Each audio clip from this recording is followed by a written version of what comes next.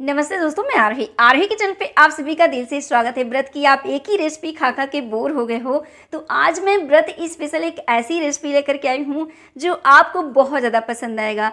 मेरे कहने पे इस रेसिपी को अपने किचन में ज़रूर बनाइएगा। आप इसे दोबारा भी बनाओगे और बिना व्रत के भी बनाओगे।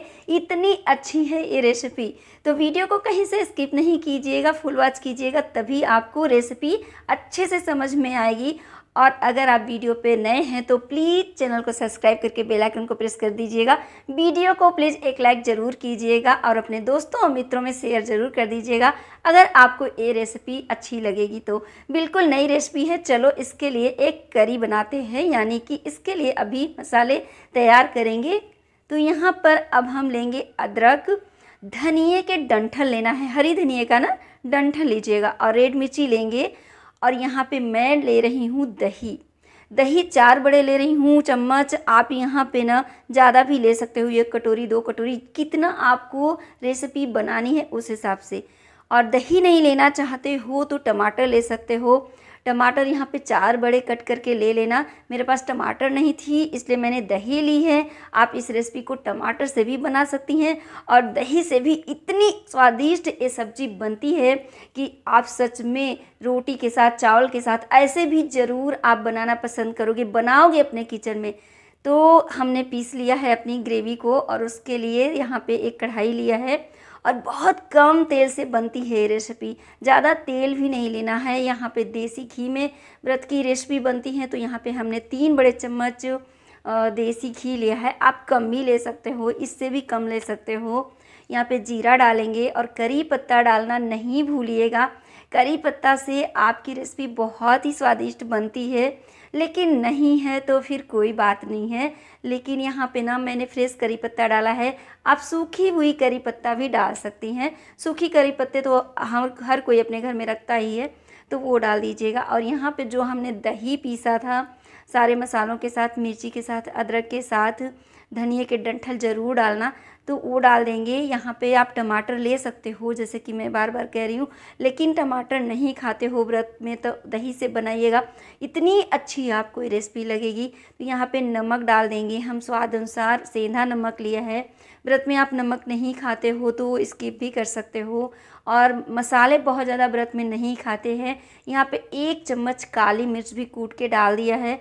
और जब तक हमारी ग्रेवी पक रही है, उसके लिए एक और चीज़ हमें यहाँ पे बनाना है तो यहाँ पे लेना है साबुदाना। साबुदाना मैं कई बार भिगोना बता चुकी हूँ, कई वीडियो में नहीं देखिए तो जाके देखिएगा। एक घंटे के लिए साबुदाने को भिगो दीजिएगा, उसके बाद पानी निकाल करके रख देंगे एक घंटे तो एकदम आपको मोती के तरह साबुदाना मिलेगा। तो यहाँ पे अब हम साबुनदाने में ले रहे हैं रागी का आटा, यहाँ पे कुट्टू का आटा और सिंघाड़े का आटा भी ले सकते हैं, लेकिन राजगिरी का आटा, रागी का आटा बहुत ज़्यादा अच्छा लगता है इसमें। तो अगर इन सारी चीज़ें नहीं हैं तो क्या करेंगे? ये सारी चीज़ें नहीं हैं तो मखाने का पाउडर बना लीजिएगा और उसे भी यहाँ पे डाल सकती हैं। बहुत ही स्वादिष्ट रेसिपी बनेगी। अच्छे से मिक्स करना है मखाने को और मखाने को बहुत ज़्यादा तोड़ना नहीं है, ऐसे ही रहने देना है। बस अच्छे से मिक्स होने लगे, बहुत अच्छे से मिक्स हो जाते हैं। ज़्यादा भी नहीं डालना है, रागी का आटा कम ही डालना है। इतना डालना है कि ये मतलब के इकट्ठा मुट्ठी बंधने लगे, बस। इसको मतलब ज्वाइन करना है, बस। जागता रागी का आटा या कुट्टू का आटा सिंगाड़े का आटा नहीं लेना है। यहाँ पे इडली स्टैंड में ले रही हूँ तो यहाँ पे इसमें मैं लगा दूँगी ज़रा सा देसी घी। तो देखिए, आप यहाँ पे कोई प्लेट, कटोरी, थाली वो भी ले सकते हो। थाली में भी आप छोटे छोटे इसको हम इडली बना रहे हैं साबुदाने की तो इस तरह से एक घोल तो नहीं है कि हम डाल देंगे तो वैसे बन जाएगी, नहीं। इसको अपने हाथों से ही हमें सेप देना पड़ेगा। तो यहाँ पे इस तरह से देखिए, ये लड्डू की तरफ़ बंध रहे हैं। ज़्यादा मैंने इसमें नहीं डाला है। रागी काटा जो आप डालोगे ना, बहुत ज़्यादा मत डालिएगा, नहीं तो साबुदाने का फ्लेवर जो है वो दब जाएगा। तो ज़रा सा ही डालना है। ये देखिए, इस तरह से मेरे इडली के साँचे छोटे छोटे से हैं तो मैं छोटू छोटू सा बना रही हूँ।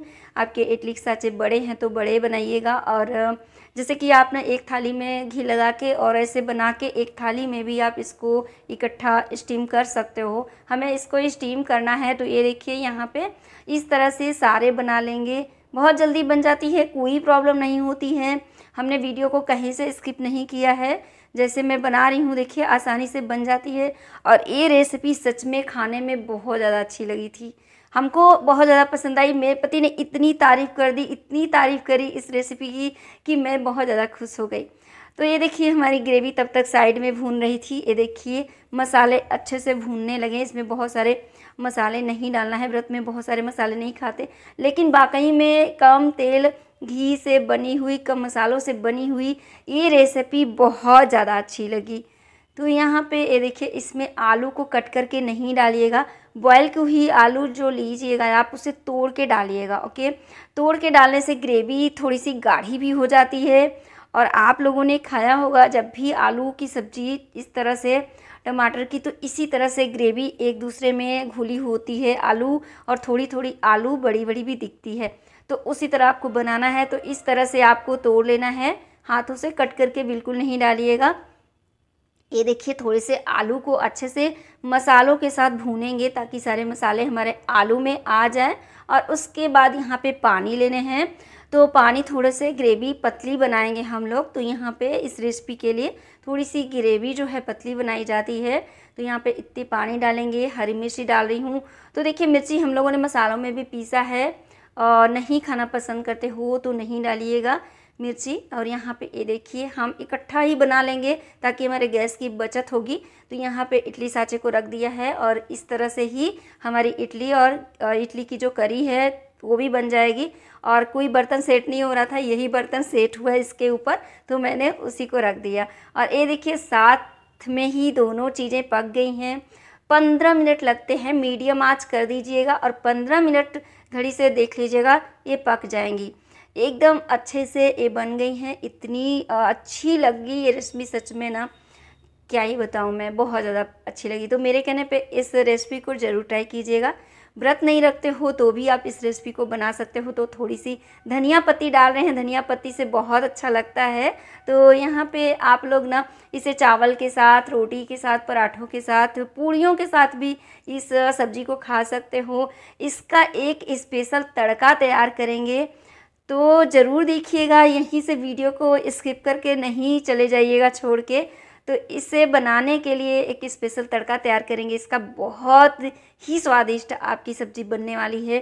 तो यहाँ पे आप कोई भी आ, कलछल या तो कढ़ाई छोटी सी या तो कोई भी बर्तन ले लो इसमें मैंने देसी घी डाला है और उसके बाद मूंगफली डाला है और कैमरे में आ नहीं रहा है सही से लेकिन मैं दिखा के डाल रही हूँ कि मैंने क्या ही डाला है। तो मूँगफली डाली है। मूँगफली पहले डालेंगे ताकि अच्छे से भून जाए मूँगफली, उसके बाद यहाँ पे मखाना डालेंगे। बहुत अच्छा लगता है इसका तड़का। नहीं है कोई चीज़ तो आप स्किप भी कर सकते हो, यहाँ पे काजू डालेंगे। अब चलिए इसका स्पेशल तड़का तैयार हो चुका है और यहाँ पे अपने सब्ज़ी में तड़का लगा लेते हैं। सच में सब्ज़ी दिख करके बहुत ज़्यादा अच्छा लग रहा है, ना तो खाने में बहुत ज़्यादा अच्छा लग रहा था। मेरे पति ने तो इतनी तारीफ़ कर दी ना तो कहा कि ये रेसिपी शादियों में बनाई जाएगी ना तो बहुत ज़्यादा सबको पसंद आएगी। सच बता रहे इतना ज़्यादा उनको अच्छा लगा और हमें भी बहुत ज़्यादा अच्छा लगा। तो आप भी ज़रूर ट्राई कीजिएगा।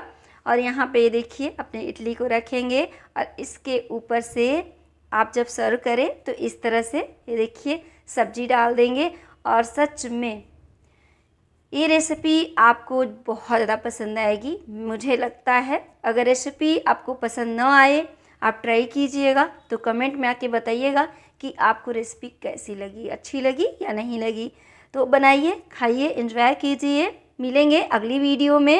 Happy Navratri my dear friends thank you so much मिलेंगे अगली वीडियो में। Thank you